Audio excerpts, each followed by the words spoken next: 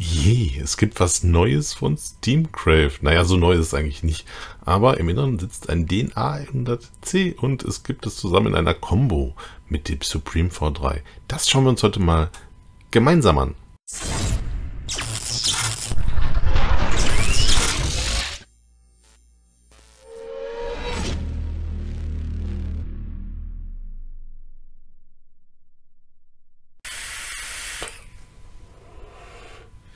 Hi Leute, Dampfer Gesimi hier. Heute mit einem Review zu dem Hadron Mini V3. Jetzt hier in der Combo-Version, weil man kriegt das Akkuträgerlein hier auch einzeln. Zusammen mit dem Supreme V3 ist das Ganze dann auch im Kit erhältlich. In dem Akkuträger hier sitzt der DNA 100C Chipsatz von Evolve drin. Und ja, ich glaube, da brauche ich gar nicht so viel zu sagen. Es passen 2100er Akkus rein, natürlich mit Adapter auch die 18750er oder die 20700er. Ähm, und ja, der Supreme V3, ich glaube, da muss man auch nicht so viel zu sagen, ist ein sehr vielfältiges Gerät. Es gibt Wickeldecks für Mesh, Single, Dual Coil.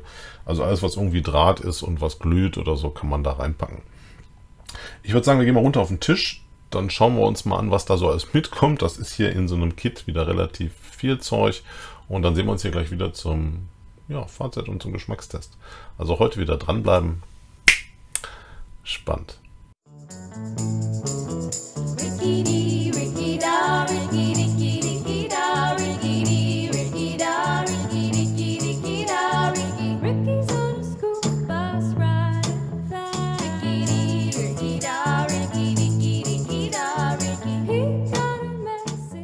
Okay, first things first. Hier haben wir die Verpackung der Hadron Mini Combo von Steamcrave.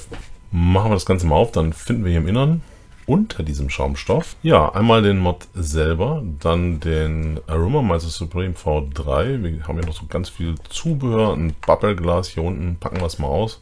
Ja, zum einen haben wir natürlich den Aroma Miser Supreme V3 im Paket mit drin. Schauen wir uns gleich nochmal ein bisschen genauer an. Zudem dazu bekommt ihr noch das Mesh Deck, mit dem ihr das Gerät dann auch mit Mesh-Streifen bestücken könnt. Alles mit dabei, was man braucht. Dann bekommt ihr nochmal einen Ersatztank mit, ein Bubbleglas und einen passenden Adapter, um das Ganze einzubauen. Dann gibt es natürlich ganz viele Ohrringe und Ersatzschrauben, Dichtungen. Und hier ist auch noch ein Skonking Pin samt passenden Single Coil Deck mit dabei. Dann kriegt ihr nochmal einen Adapter für 810 auf 510er Drip-Tips, mit dem ihr auch die kleineren Drip-Tips verwenden könnt. Ihr bekommt zweimal die Schnürsenkelwatte, die auch zu dem Mesh-Deck passt. Zwei Battery Sleeves, mit denen ihr die Isolierung von euren Akkus erneuern könnt. Dann natürlich die beiden Benutzeranleitungen, einmal für die Hadron und für den Aromameister. Dieses praktische Multitool und ein qualitativ hochwertiges USB-C Ladekabel. Ich würde sagen, ziemlich viel Inhalt, ähm, ganz viel Zubehör, ganz viel Variationen. Das ist Steamcrave. Gut, fangen wir mal mit dem Hadron Mini an. Der ist schon ein bisschen gelitten. Im Innern werkelt ein DNA 100C Chipsatz mit den bekannten Spezifikationen. Hier passen 21700er, 20700er oder auch 18650er mit Adapter rein. Wir haben eine maximale Verdampfergröße, die hier oben drauf passt, von 25 mm. Die stehen dann aber auch schon leicht hier über der Kante.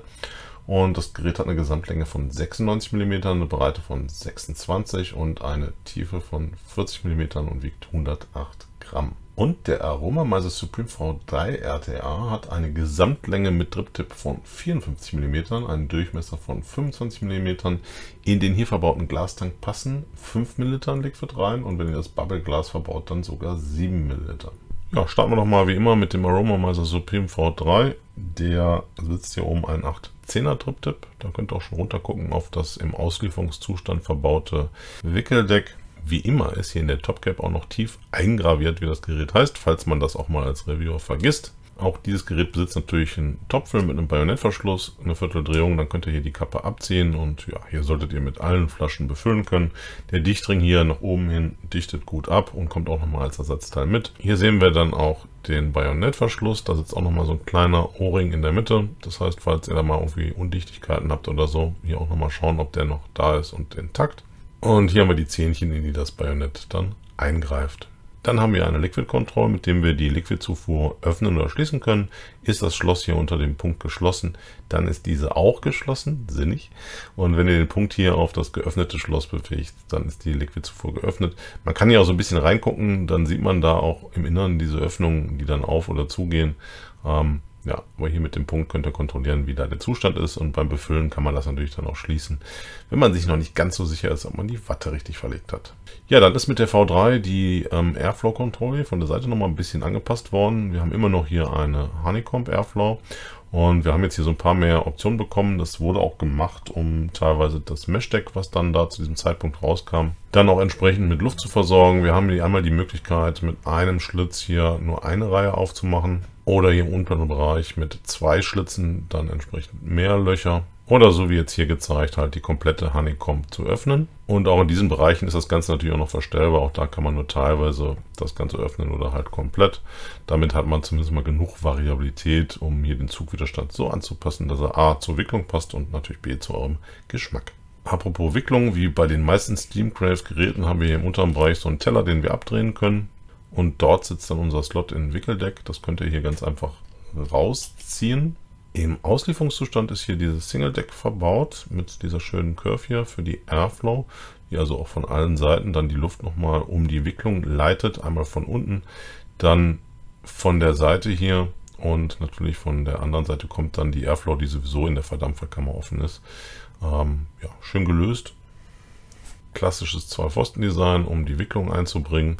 Von oben das Ganze mit Inbus festzuschrauben. Auf beiden Seiten haben wir hier unsere Wattetaschen mit großen Öffnungen nach unten. Da können wir ja gleich mal eine Wicklung drauf packen. Ich mag das Deck eigentlich sehr, weil es recht einfach zu wickeln ist und ja, ein gutes Ergebnis liefert. Ja, wenn ihr das Bubbleglas verbauen wollt, könnt ihr natürlich den Tank auch noch mal ein bisschen weiter auseinanderschrauben.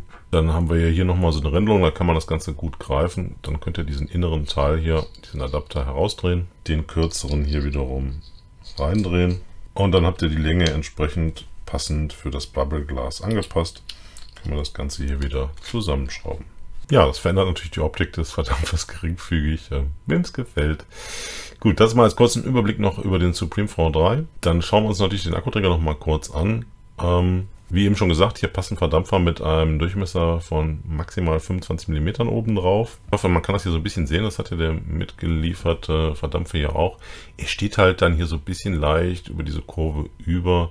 Nicht über das Gehäuse selber, also da sind wir von der Tiefe her in der Flucht, aber so ein bisschen über diese Kurve haben wir hier einen leichten Überstand natürlich dann. Also wenn man es genau nimmt, maximal 24 mm, dann ja, passt das Ganze soweit. Wir haben natürlich, weil hier ein DNA-Chip verbaut ist, ähm, eine gewisse Anordnung der Schalter. Das heißt hier um unseren Feuertaster. Wir haben hier unsere Plus, in der Mitte die Select und unsere Minus-Taste. Ja, und dann natürlich unser USB-C-Anschluss zum Laden und aber auch zum Konfigurieren. Man kann ja mit der Software eScribe dieses Gerät recht gut anpassen. Wurde mit dem DNA 100C eingeführt, dass man dann auch USB-C zur Verfügung hat. Und ja, sollte inzwischen eigentlich Standard sein bei den meisten Akkuträgern, aber hier jetzt auch bei eVolve muss man nicht mehr gucken, wie rum man den Stecker reinsteckt. Ja, dann haben wir im unteren Bereich nichts Spannendes. Hier sind zumindest mal auch Entgasungslöcher, ähm, wobei gerade bei Geräten, die einen Akkufachdeckel haben, und das hat die Hedron ja hier auf der Seite, wenn hier mal ein Überdruck entsteht, dann wird wahrscheinlich jeder Deckel nach außen abfallen und ähm, die Entgasungslöcher in der Regel nicht beansprucht. So stark sind die Magneten dann auch nicht. Die sitzen hier auf beiden Seiten und halten den Akkufachdeckel eigentlich recht solide. Kann ich auch gleich nochmal den Knack- und Wackeltest machen. Hier ist auch nochmal so eine Schutzfolie im inneren Bereich zur Isolierung verklebt. Und dann haben wir im inneren Bereich auch nochmal Plus und Minus, die uns zeigen, wie rum da der Akku reingehört. Klassischerweise ja, da wo die Federung ist, sitzt in der Regel der Minuspol. Die Federung ist hier, ja, ich würde sagen, passt soweit. Können wir auch gleich nochmal auf den, auf den Tischhauttest machen mit eingelegten Akku. Hier passt ja ein 21700er rein, ohne Adapter dann. Einlegen ist hier simpel, kurz drücken, dann sitzt der. Und wenn ich den hier so ein bisschen hin und her weckel, dann merke ich, wie der Akku sich so ganz leicht im Inneren bewegen kann. Ähm, das liegt aber gar nicht so am Anpressdruck, sondern an dem Spiel, den diese Feder da im unteren Bereich hat. Und wenn wir jetzt mal auf den Tisch schauen, Achtung, ich mache mal den Ton dann dafür aus dann seht ihr, dass auch hier der Kontakt nicht verloren geht. Also die Feder ist schon recht stark, Kontakt ist da. Und auch wenn ich hier rumwackel oder so, ähm, das ist halt nur, dass der Akku im Inneren so ein bisschen Spiel hat. Was haben wir sonst noch? Hier auf der Seite steht nochmal, wie das Gerät heißt. Wir sehen hier schon so einige Macken. Das liegt daran, weil ich das Gerät schon ungefähr seit boah, zwei Monaten in Benutzung habe. Ähm, der ist ja auch schon mal so irgendwo gegengedutscht. Die Lackierung ist immer noch bei Steamcraft nicht die beste. Das ist aber komischerweise nur bei den Akkuträgern, also bei den Verdampfern, wenn ich jetzt mal hier den Aromamizer nehme oder so, die sind da gar nicht so empfindlich.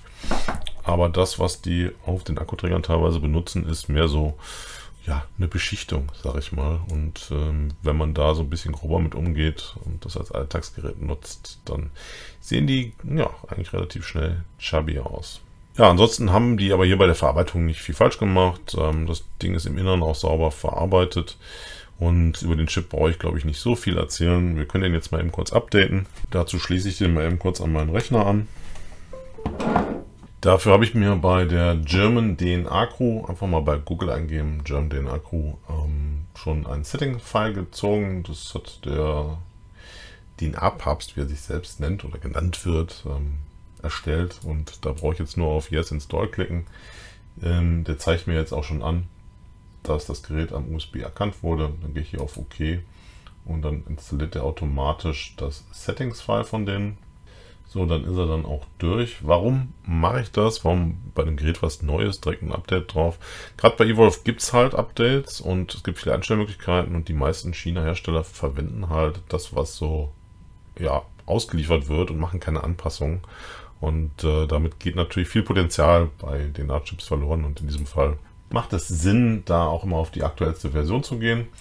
Ähm, die eScribe-Software findet ihr auch bei der German DNA Crew, wenn ihr möchtet. Und wenn ihr dann so ein Gerät neu habt, kann man hier natürlich auch dann die Updates direkt aus dem eScribe installieren. Einfach da draufklicken und sagen, okay, dann geht er halt hin und lädt die neueste Software runter und packt sie dann halt auch bei euch aufs Gerät drauf. Also ist eigentlich relativ einfach und ansonsten die ganzen Einstellungen, die möglich sind, kann man natürlich auch im Akkuträger teilweise machen. Aber hier ähm, in der Anwendung geht das natürlich wesentlich einfacher, die Profile einzurichten und so weiter. Und wenn man faul ist, kann man sich halt natürlich auch ein fertiges Settings-File ziehen und dann hat man da nicht so viel Arbeit mit. Gut, ich passe hier meistens nochmal den Theme an. Da gibt es ja diesen Theme-Designer und packe dann da noch mein Logo rein. Auch das ist, ja, ich würde sagen, teilweise selbsterklärend. Und zur Not kann man natürlich das auch komplett zurücksetzen oder auch Settings-Files vom Auslieferungszustand sich mal wegspeichern kann eigentlich nicht viel schief gehen. So, dann wäre ich für mich erstmal soweit fertig und würde sagen, Upload Settings to Device. Das Gerät zeigt dann währenddessen immer noch an, dass da die Settings hochgeladen werden. Und sobald er damit durch ist, wird er einmal kurz resettet und dann ist das Ganze auch schon wieder einsatzbereit. Gut, dann hier nochmal kurz der Ladetest. Ich packe hier mal mein Power-Ladegerät dran. Das fängt natürlich dann an, das Gerät zu laden. Also erstmal den Akku zu checken, in welchem Zustand der ist. Wir können dann hier im Display auch immer sehen, wie viel Prozent er geladen hat. Das dauert einen Moment, bis er sich da eingepegelt hat. Und mit wie viel Ampere er lädt. Er zeigt mir jetzt hier 2,7 Ampere an. Und wenn ich dann hier so auf mein USB-Testgerät schaue, dann sehe ich auch hier 2,6 irgendwas Ampere. Also das stimmt ungefähr überein. Hätte ich aber bei eWolf auch nichts anderes erwartet. Gut, dann würde ich sagen, wir packen noch schnell eine Wicklung in den Supreme. Drehen wir mal die Schräubchen raus. Ja, dann noch eine schnelle Wicklung mit 0,60er Wabendraht auf 3,5 mm, ungefähr 5 Windungen. Guckt halt bei der Breite der Wicklung, dass euch ein bisschen an der Airflow orientiert, dass wir da die Wicklung auch in der Breite haben, wie die Airflow dann die Wicklung auch entsprechend bestrahlt. Dann schrauben wir das Ganze hier mal feste und richten die Wicklung hier nochmal so ein bisschen aus. Können die mir natürlich auf der Wickelhilfe nochmal so ein bisschen durch die Gegend schieben so ungefähr die gleichen Abstände auch zwischen den einzelnen Windungen haben. Soll ja manchmal auch für den Geschmack geholfen haben. Ja, und dann passt das erstmal soweit. Zum Abkneifen haben wir hier wirklich viel Platz. Hier gibt es ja nochmal dann diese Kerben, wo ihr dann so reingehen könnt. Also da haben wir keine Probleme, dass wir ja nicht kurz genug abschneiden können oder so. Und der Vollständigkeit halber glühen wir das Ganze jetzt nochmal eben kurz aus, damit mein Fingerschweiß ab ist. Dann schnappen wir uns noch ein bisschen Moji-Watte. Ziehen mal diese äußeren Dinger ab. Manche schwören ja darauf, die dran zu lassen, weil die selber irgendwie nochmal saugfähiger als das Innere sein sollen. Können wir das schon mal so ein bisschen hier vorrollen und locker hier durchziehen. Das passt ungefähr von der Menge. Guckt halt immer, dass das da schön locker drin sitzt. Gut, dann schneiden wir hier beide Seiten ab. Ungefähr einen Zentimeter dran lassen und packen die Watte hier in die beiden Seitentaschen. Die haben eine gute Führung, also sind relativ tief. Das heißt, die Watte sitzt eigentlich relativ gut drin. Habt also hier genug Platz, um, sag ich mal, die Watte zu verlegen. Und zum Schluss gehe ich meistens nochmal hin und gucke, dass die Watte hier nicht so raussteht, sondern drücke die so ein Stückchen zurück. Man kann auch einfach hier drunter gehen und kann die einfach nochmal so ein Stückchen anheben. Dann seid ihr da auf der sicheren Seite, dass da die Liquid-Kanäle auch offen sind und ihr nicht zu viel und nicht zu wenig Nachfluss habt. Gut, dann machen wir die natürlich nochmal nass befeuchte die hier schon mal vorsichtig. Versorgt das Ganze mit Liquid. Ja, und dann als letztes kontrolliert natürlich nochmal, ob hier auch die Airflow frei ist, also dass da keine Fitzelchen oder so in die Airflow-Löcher äh, reinragen. Und dann ist das Ganze erstmal soweit gesetzt und fertig. Gut, beim Einsetzen des Decks müsst ihr darauf achten, dass wir so Aussparungen haben. Das heißt, wenn das da reinsitzt, dass das da auch wirklich drin sitzt. Das finde ich teilweise immer noch mal so ein bisschen fummelig, das hier entsprechend auszurichten. Aber ja, vielleicht ändern sie das irgendwann mal in Zukunft. Ähm, dann würden wahrscheinlich aber diese ganzen Decks, die es da gibt, nicht mehr passen. Hier passen ja noch die von der V2 rein. Ähm, von daher, ja, ist okay. Gut, dann machen wir noch das Deckelsche drauf. Wenn ihr das hier nicht richtig zusammenschrauben könnt, dann liegt es meistens daran, dass das Deck nicht richtig drin sitzt. Gut, packen wir das Ganze mal zusammen. Ja, und als letztes müssen wir das Ganze natürlich noch befüllen. Einmal Flasche dran und gib ihn. 7 Milliliter sollen jetzt hier reinpassen. Ich würde sagen, ausreichend. Gut, und dann sind wir soweit erstmal durch hier unten in der Detailansicht. Und ich würde sagen, wir gehen wieder nach oben und kommen so langsam zum Fazit. Also bis gleich.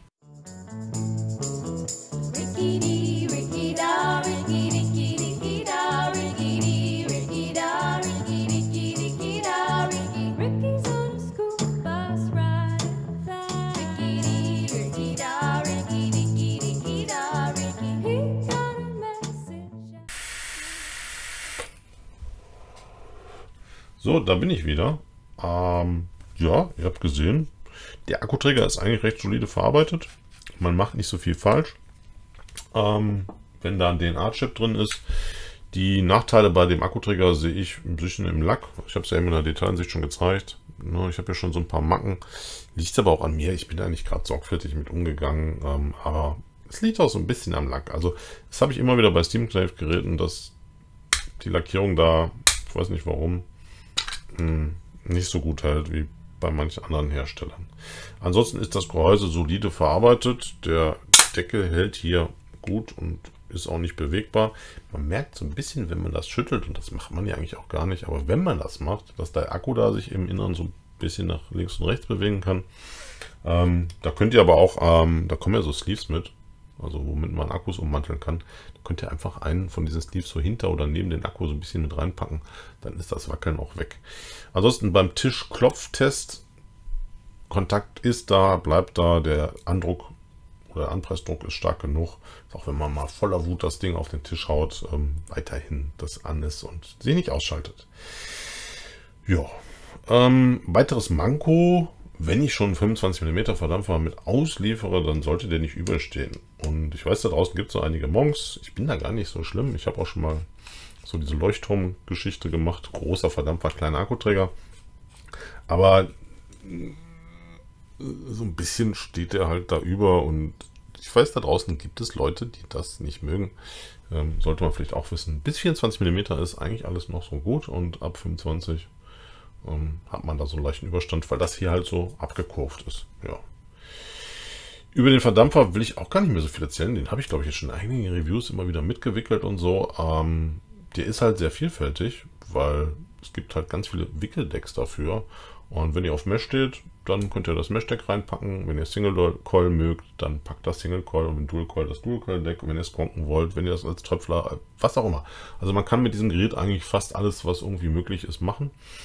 Ähm, man muss aber auch Spaß daran haben. Also es ist so ein bisschen fummelig. Ich weiß, dass einige beim Wickeln immer mit Nachflussproblemen haben. Entweder zu viel, das heißt der Tank läuft einfach mal kurz aus leer. Oder es fängt an zu kokeln.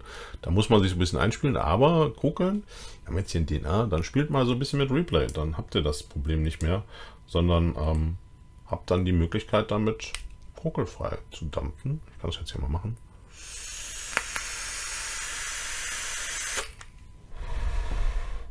So, dann gehe ich jetzt hier auf Zug speichern, Save Puff.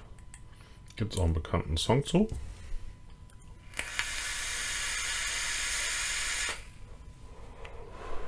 Und bin jetzt mit Replay unterwegs und selbst wenn jetzt mal der Nachfluss irgendwann gleich nicht mehr stimmen sollte, ne, dann passiert nichts.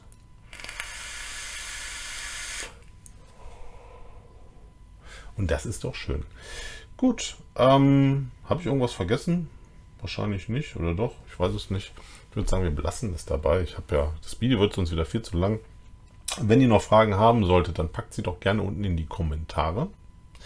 Wenn es euch gefallen hat, macht gerne auch einen Daumen hoch. Und ansonsten, so wie immer, wünsche ich euch ganz viel Spaß beim Dampfen, viel Erfolg beim Umstieg und tschüss und bis zum nächsten Mal. Eure Dampfwolke.